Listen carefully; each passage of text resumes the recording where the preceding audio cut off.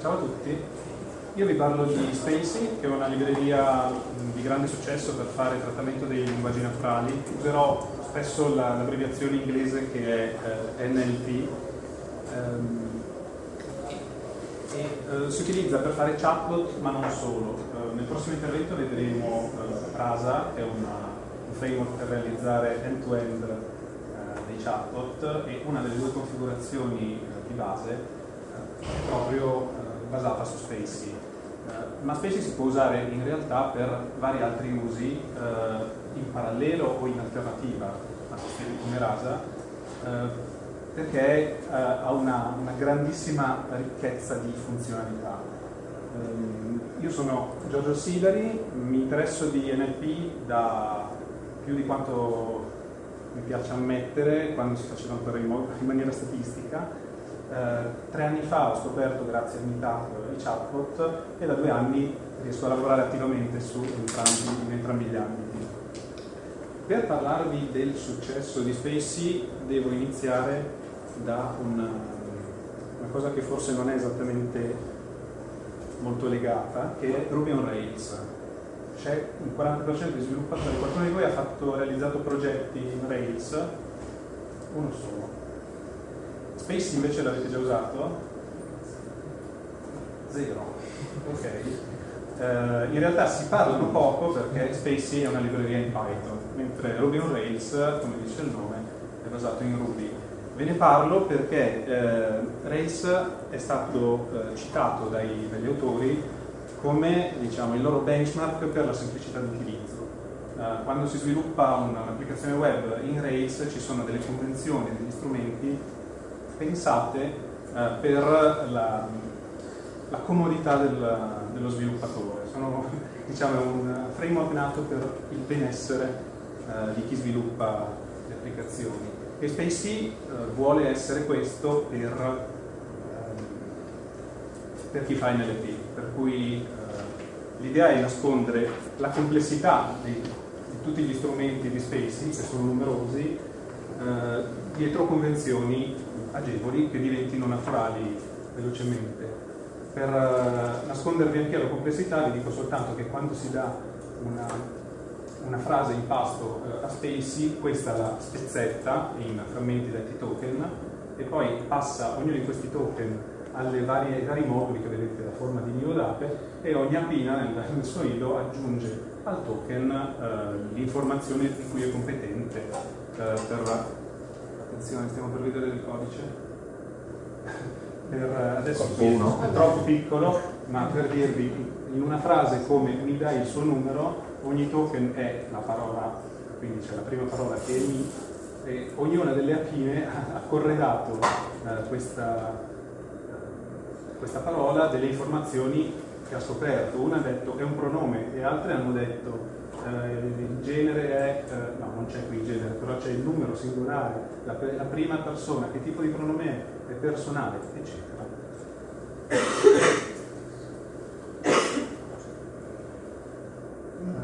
vi faccio vedere velocemente tre esempi eh, di eh, problemi o comunque dei suggerimenti per migliorare le performance di un chatbot quando vediamo che ha raggiunto i suoi limiti insomma, per permettergli di mh, mm, comprendere meglio eh, gli intenti del, dell'utente. Tipicamente eh, progettiamo un, un chatbot eh, per rispondere a un determinato intento, eh, ci facciamo un'analisi, facciamo un'analisi, eh, in questo caso il chatbot è stato pensato per trovare delle pizzerie grazie alla geolocalizzazione dell'utente, eh,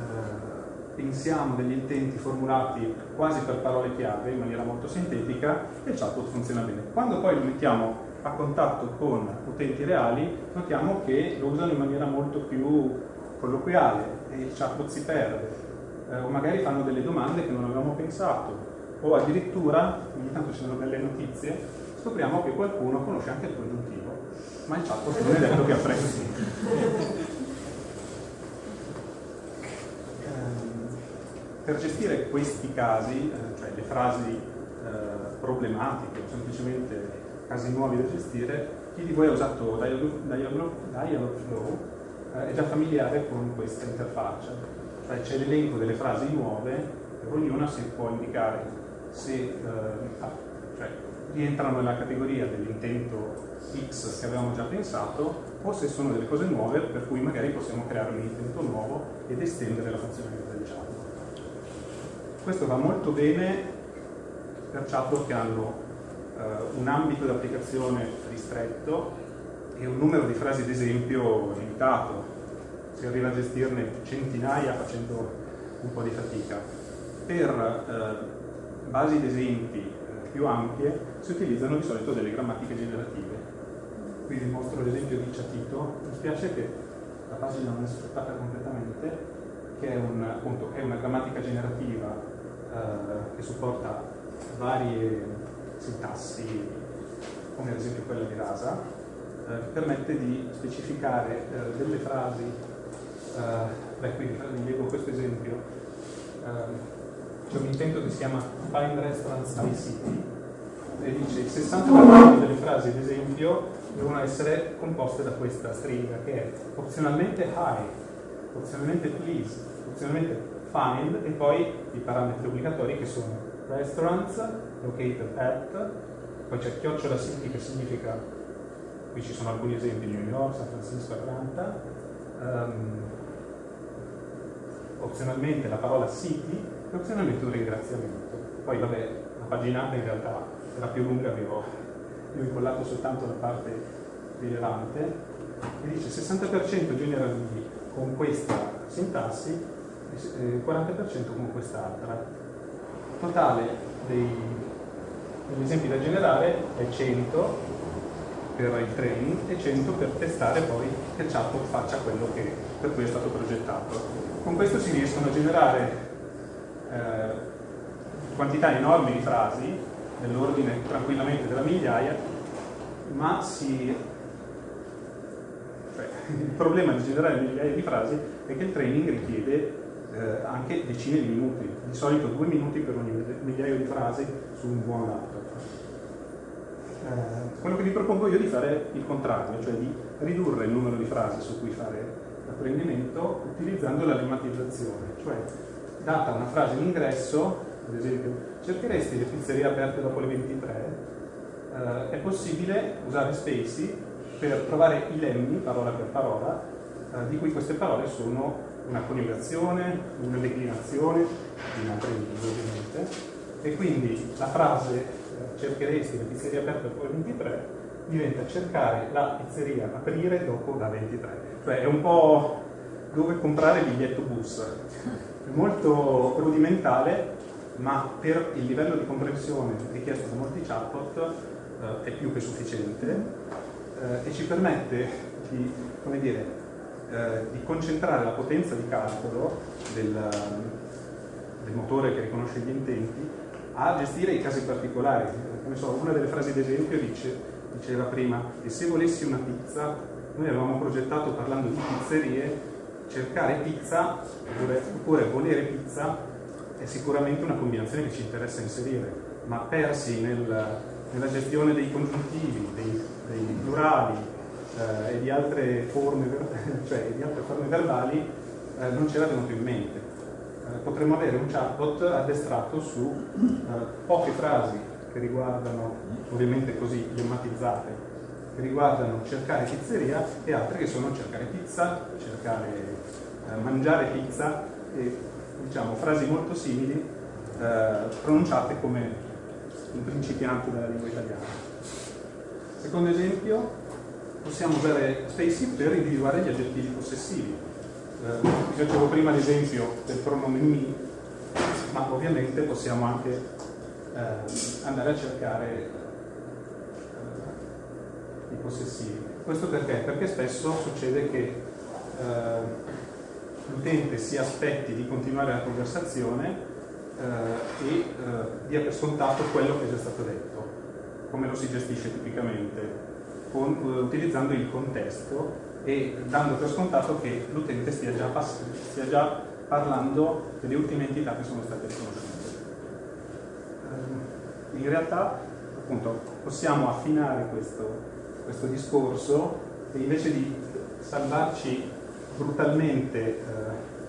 il nome della pizzeria che abbiamo, che abbiamo, indicato nel contesto,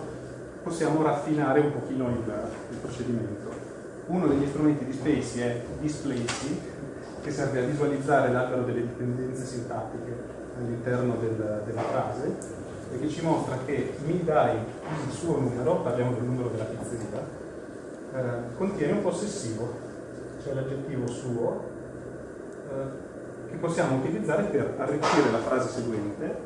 cioè la frase eh, mi dai il suo numero, e trasformarla in eh, mi dai il numero della pizzeria.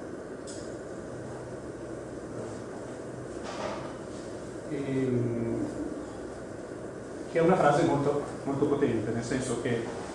mi dai il numero della pizzeria da Michele, è una frase che possiamo dare anche a un sistema che risponde soltanto per, eh, per fatto, diciamo, quasi senza utilizzare il contesto. Cioè, il contesto lo possiamo utilizzare per arricchire la frase, eh, la frase originaria e darla poi in pasto a un sistema che può essere anche più semplice del classico chatbot ad alberatura, quello che diceva eh, prima eh, Oma, possiamo destrutturare l'albero che effettivamente si pensa nella concezione del, del chatbot e lavorare anche al limite solo per fare. Terzo esempio, che in realtà vabbè, è ehm, la semplicità anche di includere nei modelli linguistici i vettori parola. È una metodologia introdotta nel 2013 e che è stata implementata in vari modi e che consiste nel eh, fare un'analisi statistica di come vengono utilizzate le parole all'interno delle frasi e raggrupparle eh, per somiglianza d'uso. Per cui qui c'è un esempio di parole che riguardano la casa in lingua inglese e che sono clusterizzate per ambiente sostanzialmente o per attività all'interno della casa. Un esempio che volevo mostrarvi è che oltre al cluster, quindi eh, misurare la somiglianza tra due parole, eh, che già di per sé può essere molto utile, eh, si può anche fare il ragionamento analogico, cioè il, il, vettore che è la differenza tra il vettore ragazzo e ragazza, possiamo utilizzarlo per vedere qual è la, il corrispondente, cioè per trasformare poetessa in il risultato è un vettore e andando eh, a esplorare con Stacy troviamo che la, la, parola, il vettore più vicino è il vettore che rappresenta, vabbè, vi, vi risparmio il codice che mostra la, il caricamento del modello, comunque ci sono i link nella presentazione a dei collab per chi volesse eh, smandoppare un po' il codice. Eh, guardando i 5 risultati più vicini al vettore eh, differente, cioè il vettore ottenuto sommando eh, ragazzo meno ragazza a poetessa sono poeta, poi di nuovo poetessa, scrittore, poeta scrittore, musicista. Vi lascio un po' di link utili per uh, approfondire, soprattutto vi raccomando di seguire su Twitter i due sviluppatori che sono anche fondatori di una bella startup di Berlino uh, che, è, che ha reso che ha, sì, ha, creato e sta rendendo open source Spacey eh, e ci sono, c'è anche il link a queste slide in cui trovate appunto il link ai collab se volete lavorare un po' con il codice. Grazie.